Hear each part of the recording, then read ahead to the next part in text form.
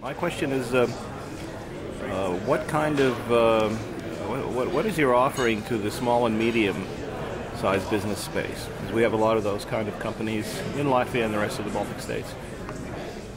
Well, small and medium businesses have uh, problems uh, not dissimilar from large businesses, but obviously not on the same scale that large businesses have.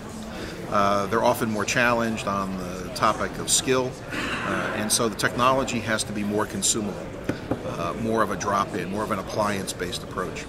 Uh, a lot of our packaging go to market involves business partners, especially local, regional business partners, uh, whose orientation towards a local market, knowledge of the local market, uh, industry skills within the local market lets them take our technology, package it with things that they're knowledgeable in and capable of doing, and then uh, bringing that to bear uh, on the mid-sized companies that require integration uh, but don't necessarily require all of the sophistication that a large business does. So the, the small and medium-sized companies in Latvia then should look for the uh, IBM SOA solutions behind the offering of a local integrator or a local a local partner.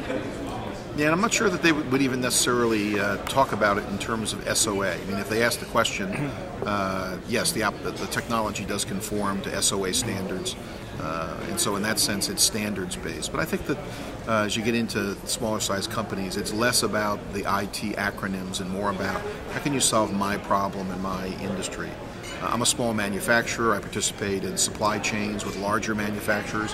You have a lot of, of nested ecosystems uh, in business.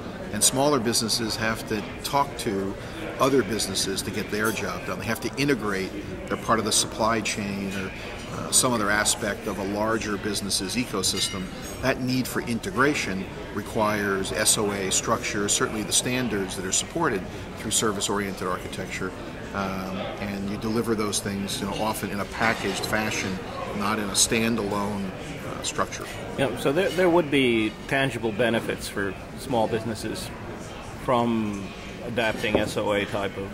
Oh, absolutely. But the core concept is about end-to-end integration. It's about um, integrated order to cash, uh, straight through processing. A variety of terms get used to articulate this idea of everything flowing and flowing easily, quickly, at a lower cost. And I don't care if I'm a large company or a small company, if I can improve my economics by using technology effectively, I mean, that's what the value of technology is all about, is, is, is improving uh, business operation uh, to either make money uh, or save money.